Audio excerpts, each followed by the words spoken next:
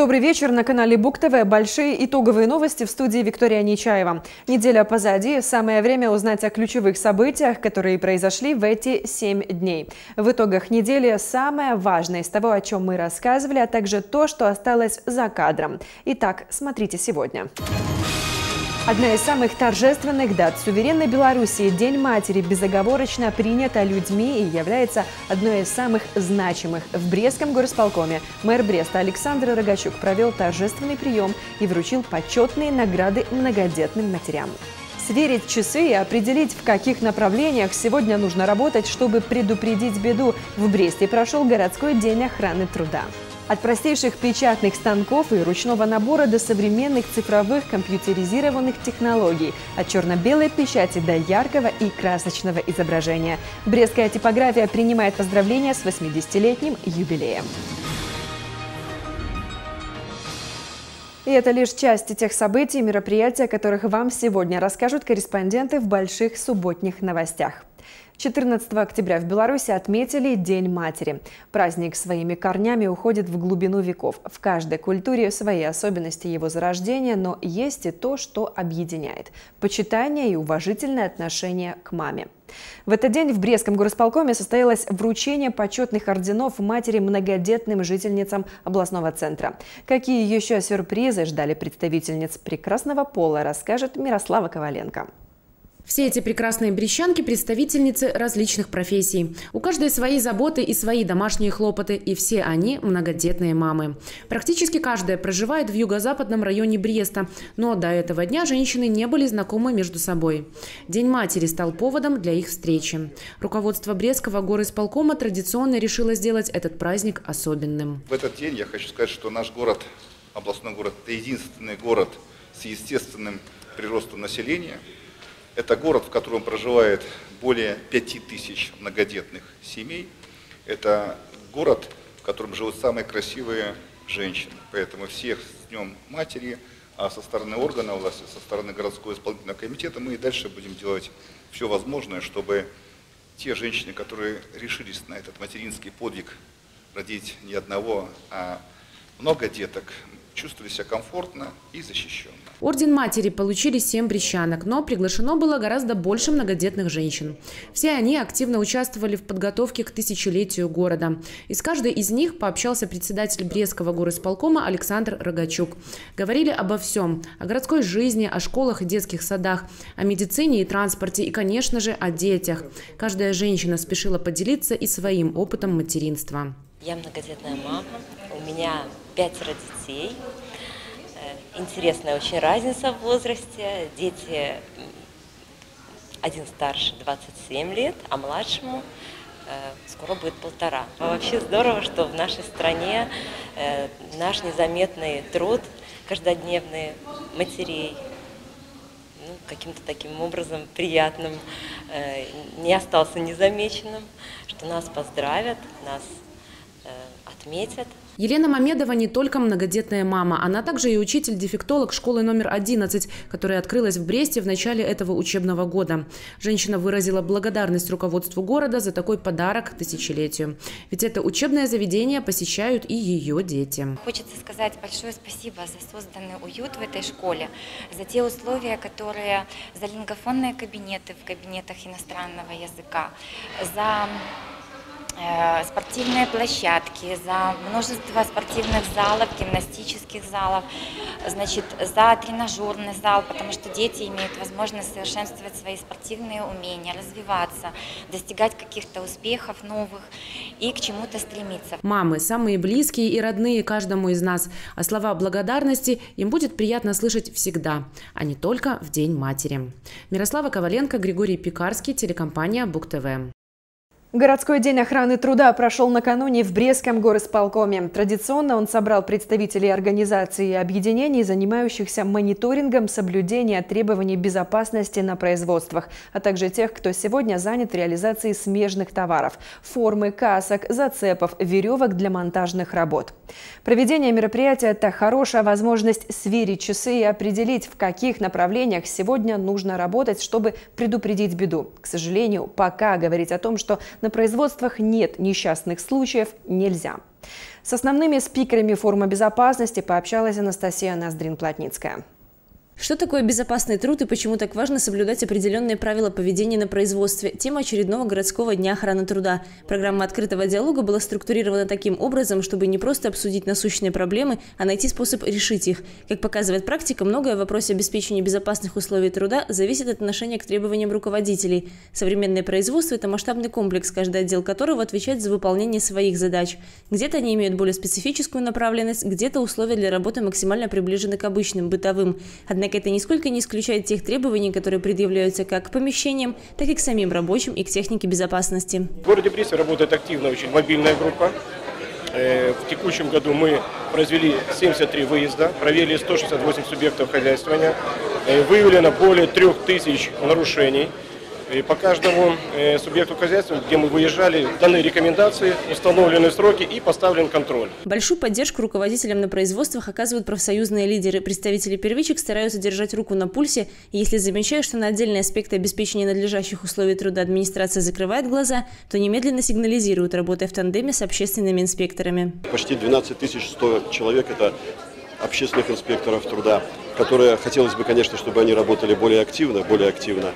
Вот. Но там, где служба охраны труда предприятий, организаций, их в свою систему скажем так, внедряет и э, работают совместно, там есть результат. Личная защита и соблюдение техники безопасности – еще одна составляющая эффективной реализации программы по охране труда. Сегодня белорусские и зарубежные производители рады предложить руководителям предприятий суперсовременную экипировку, которая смогла бы предотвратить возможные несчастные случаи. С ней участники встречи могли ознакомиться в фойе. Для каждодневной вида деятельности, во-первых, существуют э, законодательством утвержденные требования, э, какими свойствами должна та или иная одежда либо обувь обладать.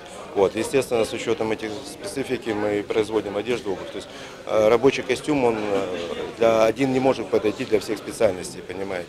Есть защита от повышенных температур для сварщиков тех же. К сожалению, полностью исключить несчастные случаи на производстве не получается. Уже в более узком кругу рабочая группа рассмотрела каждый в отдельности случай. Как правило, причина случившегося – халатность и беспечность, искоренить которую можно только в формировании правильного отношения к вопросам коллективной и личной безопасности.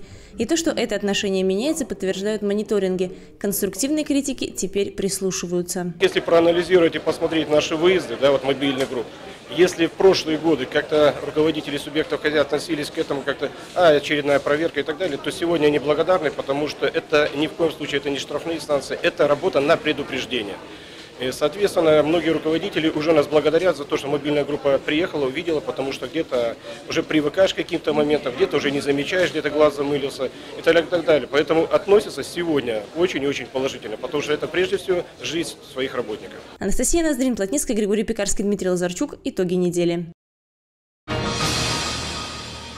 Продолжит выпуск тема весьма актуальная. Мы предлагаем поговорить о бесхозяйственности. Поверьте, ее самым ярким примером являются стихийные свалки. Нет, их число в городе с каждым годом не растет. Так заверили в Брестском областном комитете природных ресурсов и охраны окружающей среды. Но проблема несанкционированных свалок остается актуальной. В Бресте на учете у экологов находятся десятки засоренных мест. Свалки в лесных массивах, вблизи частных подворий есть проблемные точки даже в центре города. Какая ответственность грозит тем, кто осознанно оставляет после себя грязные следы, расскажем прямо сейчас. Строительный мусор, бытовые отходы и даже мешки с осенней листвой, так называемые остатки цивилизации, рядом с оборудованной контейнерной площадкой всего в паре десятков метров от дачных домов. Брещанин Леонид Григорьевич так и говорит, приходится жить среди настоящей свалки. Иногда она исчезает, но на следующий день все возвращается на круги своя. Мужчина уверяет, это дело рук местных жителей. Сюда, на Октябрьскую 13, свозит мусор вся Киевка. Сегодня или завтра, допустим, заберут, через пару дней появляется здесь. И вот, вот там целая куча, всякую, всякую всячину, чтобы только везут мешки и рубероид, и стекло, пожалуйста, все. Против такой бесхозяйственности отдельных граждан действует закон по обращению с отходами, который гласит, в случае, если коммунальные службы, то есть мусороперерабатывающий завод, создал все условия для раздельного сбора отходов, жители обязаны их выполнять. Так как и куда правильно вывозить мусор самостоятельно? Каждая контейнерная площадка оснащена информационным стендом, на котором э, указано, в какие контейнеры что необходимо складировать. Также указана информация о э, месторасположении приемных пунктов, на которые можно отвезти собственным транспортом как строительные, так и крупногабаритные отходы. То есть те отходы, которые собрались в большом объеме. Кроме этого, всю интересующую информацию с телефонами и адресами приемных пунктов, контейнерных площадок и контейнеров для сбора крупногабаритных отходов можно найти на сайте Брестского мусороперерабатывающего завода. Помимо этого, предприятие может оказать другие дополнительные услуги. Если у вас производятся какие-то строительные работы, допустим, ремонт дома, либо какие-то демонтажные работы, э, у нас есть такая услуга, как заказ контейнера для строительных отходов. То есть вы пишете заявление, оплачиваете э, определенную сумму, и в тот день, который вы согласовали непосредственно с нашим э, специалистом, вывозится, устанавливается на вашей территории контейнер, в который вы можете загрузить все свои отходы строительные, и уже это будет вывезено на определенную площадку. Словом, путей решения проблем с вывозом мусора множество. Кстати, меры, которые позволяют изобличить и наказать нарушителей, тоже есть. Самый простой метод борьбы с теми, кто оставляет после себя грязные следы – фотоловушка. В инспекции природных ресурсов и охраны окружающей среды говорят, достаточно одного лишь фото с номерами автомобиля и за бесхозяйственность ответят. Причем крупно – штраф от 5 до 50 базовых величин. Хотелось бы и также гражданам обратиться, что фиксировали ну, так, такие моменты на, на телефон, э, возможно, на фотоаппарат и ну, передавали в нашу инспекцию. Штрафы довольно-таки приличные. Ну, если хотим э, жить в красивом городе, необходимо э, как бы и следить ну, за чистотой в городе и не допускать таких нарушений. Чаще всего такие нарушения происходят на бульваре космонавтов, Советской Конституции и защитников Отечества. Можно, конечно, надеяться, что благодаря работе коммунальных служб улицы станут чище, но пока сами жители не будут нести ответственность за свой мусор, велика вероятность, что надежды так и останутся надеждами. Виктория Нечаева, Григорий Пекарский, Дмитрий Лазарчук, телекомпания Бук-ТВ. Повар – одна из самых популярных профессий в мире. Специалисты, способные из простого набора продуктов сделать настоящий шедевр, легко найдет работу в любом заведении. Потому людям, избравшим эту профессию, посвящен отдельный праздник, который отмечается 20 октября. Наш корреспондент Мирослава Коваленко познакомилась с шеф-поваром кафе «Карпе Дим» и узнала все секреты этой творческой и вкусной профессии. Когда появилась профессия повара, история умалчивает, но люди, которые любят готовить, были во все времена. Кстати, самыми лучшими кулинарами принято считать мужчин. Яркий тому пример – шеф-повар кафе «Карпе Дием» Михаил Цапков. В свои 23 года молодой человек четко определился с профессией. Ради карьеры повара он даже забросил учебу в университете. И все для одной цели – радовать людей красивыми и вкусными блюдами. Я всю жизнь мечтал стать э, капитаном корабля, плавать. И когда попадаешь в ресторан, понимаешь, что это э, как штурм одного корабля от другого. То есть здесь есть ты э, на команде э, отбиваешься от гостей, а гости все идут и идут. То есть идет э, какая-то ну, идиллия, что э, после смены выходишь и ты понимаешь, что ты накормил там 300, 350 человек. Э, я работал только в таких больших заведениях и ну, приятная дрожь, там, э, мурашки, вот это вот, и заставляет двигаться дальше и не думать о деньгах. А думать шеф-повару приходится много о чем. В его обязанности входит не только отслеживание всей работы на кухне, но и разработка рецептуры блюд и контроль технологических карт. Но в таком напряженном кулинарном графике Михаил не забывает. В первую очередь он творец новых гастрономических шедевров. Я всегда считал, что э, все, что мы делаем в жизни, это искусство. А вот именно э, тарелка это как холст. То есть я всегда сравнивал каждого повара как Пикассо. То есть э, Пикассо, он творил все, что хотел. То есть он не рисовал какие-то э, стандарты, квадрат Малевича, там, ну, это тоже какой-то э, мере творчества. Но э, я могу украсить одну и ту же тарелку, одно и то же блюдо несколько десятков раз по-разному, и гостю принести одному и тому же, он каждый раз будет с восхищением есть это, потому что ему нравится, что за его блюдом следят. Кафе ресторанного типа Carpe Diem хорошо знакомо брещанам и гостям города. Здесь представлен спектр разных кухонь мира – азиатской, средиземноморской и белорусской. Роллы, стейки, пиццы, пасты – это то, что любят гости заведения. Конечно, в каждое из блюд повар вкладывает свою душу. Сегодня мы будем с вами готовить э, классический вог. Вог – это лапша, э, приготовленная на большой температуре э, с добавлением овощей, мяса и тому подобное.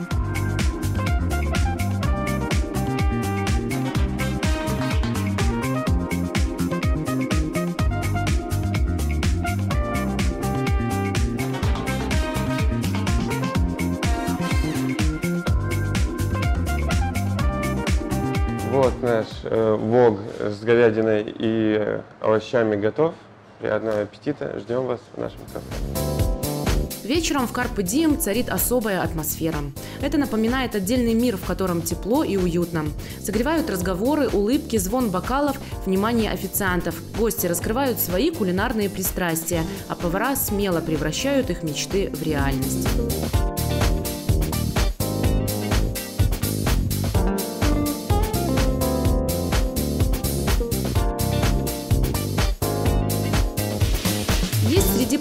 Посетителей и постоянные клиенты. Кстати, Карпе Дием уже давно стала вторым домом для гандболистов брестской команды имени Мешкова. Очень вкусный стейк, э, салат темленый с говядиной, тоже хороший, салат белой рыбы э, и креветками. Но все вкусно здесь. А почему выбираете именно это заведение? Ну, потому что вкусная еда. Еда в Карпе Дием действительно потрясающая. Кстати, это оценили и любители гастрофеста, который недавно прошел в Бресте. По оценке Альфа-банка и радио Пилот ФМ, это заведение заняло первое место. Секрет успеха прост – любить своих гостей и делать все, чтобы они сюда вернулись. И не раз. Повар – это не профессия, это призвание. И самое дорогое для него – это, конечно же, благодарность клиентам. Спасибо большое, это настоящий шедевр. Вот он рецепт идеального вечера, который мы провели в Карпе Дием. Ярослава Коваленко, Эдуард Бакунович, телекомпания Бук ТВ. Вы смотрите программу «Итоги недели» на Бук ТВ. Говорим о важном. Проблема наркомании и наркозависимости не теряет своей актуальности уже десятилетия. Конечно, ужесточение законодательства и определение более строгих мер за сбыт и хранение наркотических веществ стало своего рода мерой регулирующей. Однако с каждым годом бороться становится все сложнее. Наряду с традиционными наркотиками появляются синтетические. Поначалу спайсы, теперь соли. Привыкание к ним более быстрое, а способы лечения более трудные. Причем за помощью, как правило, близкие употребляющих обращаются лишь тогда, когда проблема набирает достаточно серьезные обороты, а пути назад практически нет. Анастасия Ноздрин-Плотницкая провела свою параллель и пообщалась с авторитетными экспертами, давшими объективную оценку ситуации. Неуравновешенность психики, беспричинная агрессия по отношению к окружающим, при этом панический страх и бессилие, видение. Так начинается так называемая ломка, когда стадия наркомании далеко зашла за начальную. Это ужасное зрелище нередко можно увидеть в кадрах социальной рекламы. В жизни куда страшнее. Именно поэтому борьба с наркоманией и тема сбыта наркотических средств поставлена в нашей стране на особый контроль. В последние годы отмечается трансформация нелегального наркорынка в сторону вытеснения наркотиков растительного происхождения синтетическими. И если еще лет пять назад умы белорусов будоражили жуткие кадры поведения подростков употребляющих спайс, то теперь в центре внимания правоохранителей и медиков так называемые соли. Где-то процентов 58 это все-таки еще пока в структуре состоящих на учете у наркологов, это все-таки опиоидные наркоманы. Но еще раз повторяю, что молодежь теперь не идет по этому пути. Они ищут более простые, доступные способы получить какое-то впечатление иллюзорное – от других препаратов. Основные пути попадания на учет и наблюдения э, у наркологов – это через сотрудников правоохранительных органов и по сведениям из медицинских учреждений куда они попали, попали там в силу каких-то осложнений, побочных действий этих препаратов. Родители делают это очень редко, потому что постановка на учет наркологических учреждениях, кабинетах, ну, несколько меняет возможности дальнейшего жизненного карьерного роста. Постановка на учет исключает ряд э, профессий, специальностей, которые можно занимать, состоя на учете у нарколога. Вот. Родители надеются до последнего, то, что чадо исправится, возьмется за голову, но это скорее исключение, чем правило. Быстрая зависимость – главная проблема соли. Дешевый кайф, к сожалению, уже на прилавках интернет-магазинов. Однако на каждую новую уловку преступников правоохранители находят свою систему ответа. Недавнее задержание жителя областного центра – один из ярких примеров эффективной работы. Был задержан житель областного центра 1991 года рождения, который на территории Российской Федерации приобретал психотропные вещества, такие как параметилэфедрон и альфа-ПВП, из сбывал их на территории города Бреста. В частности, было обнаружено более 40 грамм таких веществ.